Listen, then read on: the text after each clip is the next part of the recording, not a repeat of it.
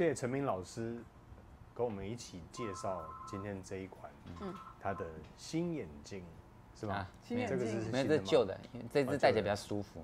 哦。那 你之前都是戴金金框的嘛，对不对？哎，因为那个那个金架太细了，啊，常常磨的我这边很痛。哦，OK，好，好，那我们今天有不同新的视觉哦，那个边听老师讲，看看换了镜片会不会讲出不一样的感觉，这样。那这一款帮我们介绍的是哪一支？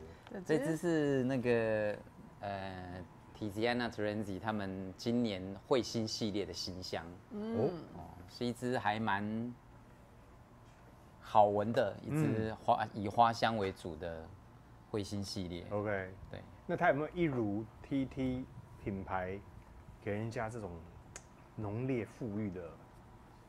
富裕有浓烈的话，可能要看人的感觉 OK，我是觉得还不还还算清新呢、还算清新哦，算清新哦。嗯，那那那当时为什么选这一支牌子嘞？那我们镜头先带一下里面的包装好吗？那老师也边讲一下它。也是一如既往的那种 这种很奢华的包装。那我觉得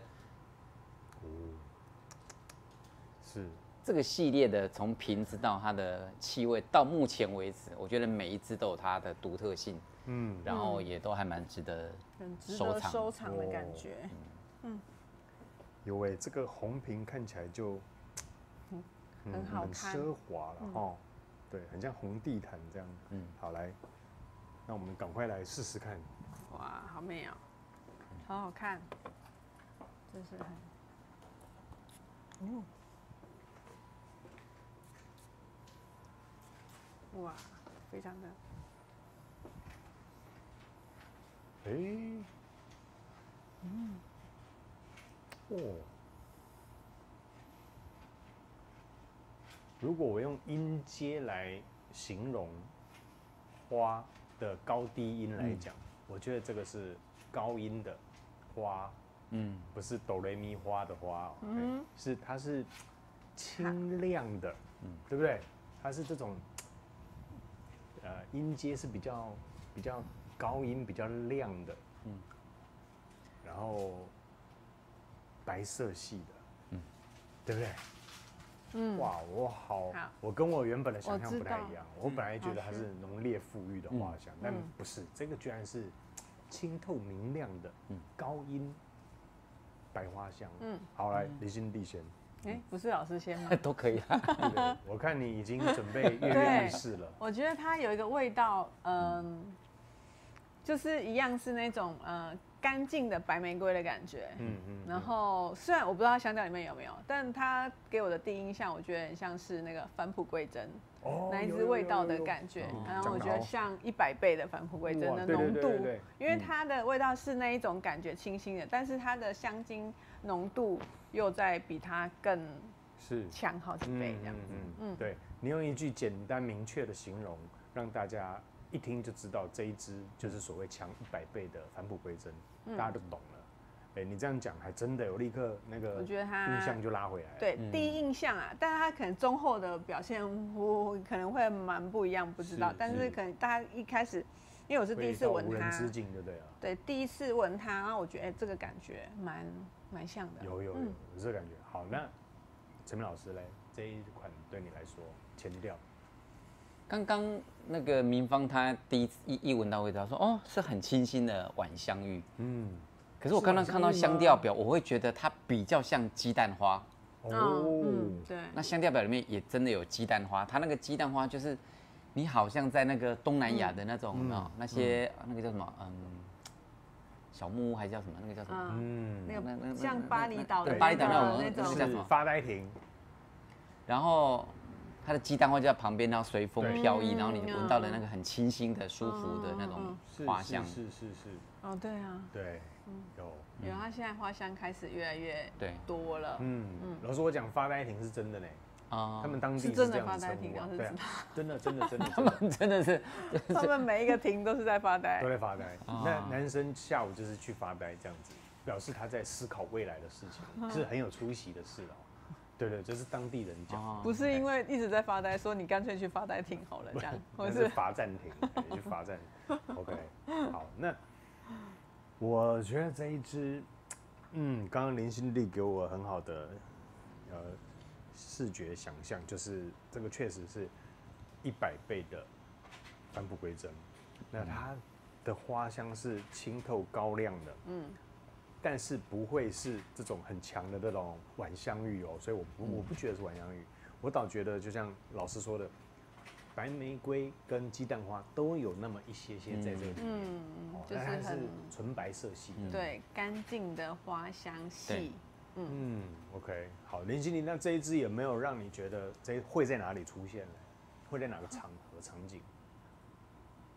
我觉得在那种任何就是纯净的空间都非常适合用它，或是神圣的空间，像是说啊。婚礼场合啊，哦。或者是我觉得一些重要的时候。对嗯重要场合，我觉得这支都蛮适合。但这个平日穿也是更 OK 啊，就是以如果是那种比较神圣的那种场合，我觉得这支都非常的适合。是，嗯，那特别你们两个今天穿的白色系的衣服我觉得也很适合这一支。嗯，好，就是对。白花。那对啊，对啊，我觉得嗯，最重要是这一支不会让人家晕，好，嗯。这个是蛮重要的。对，因为蛮多白花其实闻的是有一点过于刺激啦，但是这一款我觉得是舒服的，嗯干净哦舒服的感觉。老师，那你有没有什么画面还除了发呆亭之外，还可以带大家去哪里的嘞？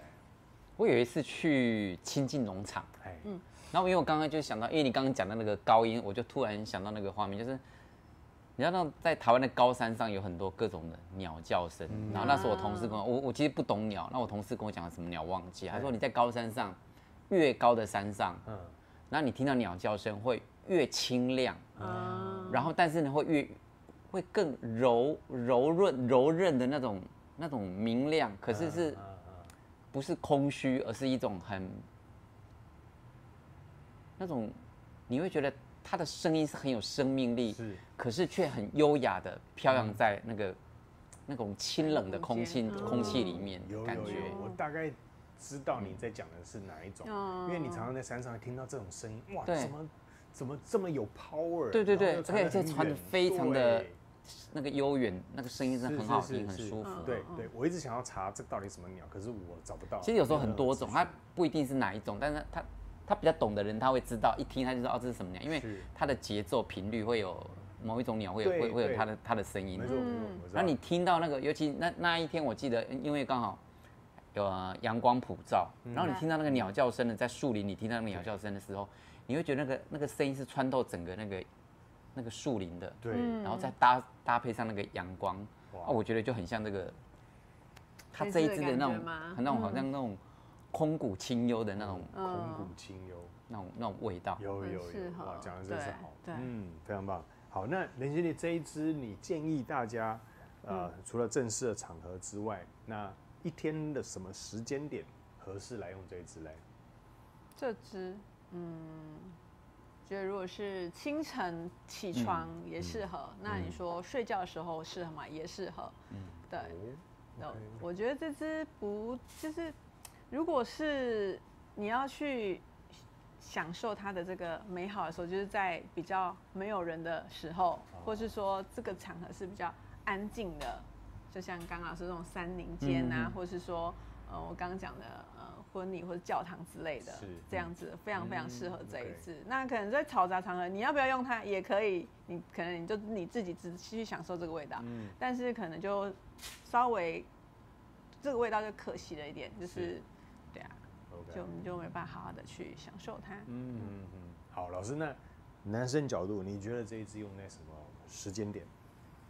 你如果想去搭车的时候，哎，搭车你想要去搭车，那因为它不是，它不像其他支的那种扩散性很强烈，一定要让旁边的人都闻得到。是然后呢，旁边人我相信也闻得到，但是他会闻到的只是一股，哎，淡淡悠悠的味道。嗯然后那个花香又不那么的脂粉，是所以你会觉得很舒服。你去搭车，你要出去玩，或者是你要回家乡什么，哎，你都会觉得它可以陪伴你这个路程。是 OK。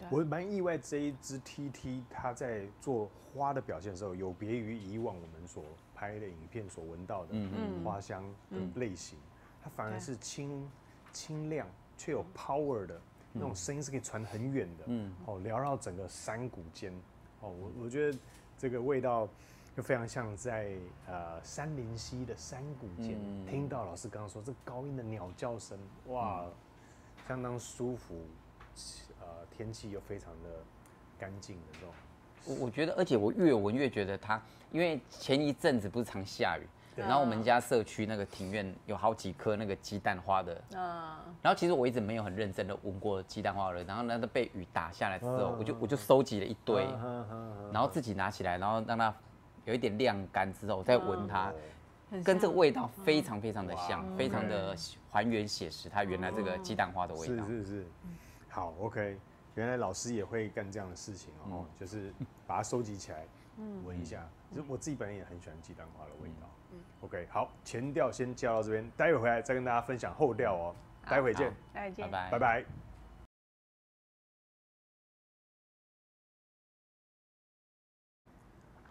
Borelli 彗星，嗯，它的官网里面其实有强调，讲到说这一支彗星它的轨道啊，会随着每一次的运转，然后会产生变化，嗯，变化。其实我最近又在看一些有关彗星的那种呃一些文章的时候，就会发现，哎、彗星真的是一个很有趣的东西，就是嗯。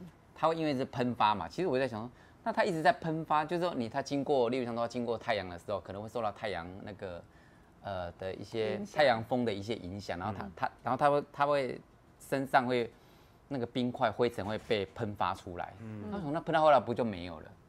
对，他说后来就没有了。哦，所以，例如像说，呃，可能，但时间长短不一定，有的可能几万年就没有了，有的要到几百万年它才会没有，嗯，就要绕个几百万年这样，是它等一下就不见。哇，对，所以你看人的生命，嗯。嗯，才短短这样子而已，真的很短，对跟他们比起来，再差太远。是是是，哇！突然对听完是觉得相当的渺小了，嗯，对不对？彗星走的是几万年了，嗯嗯，好来，那但我们这个味道目前后调，老师身上怎么呈现呢？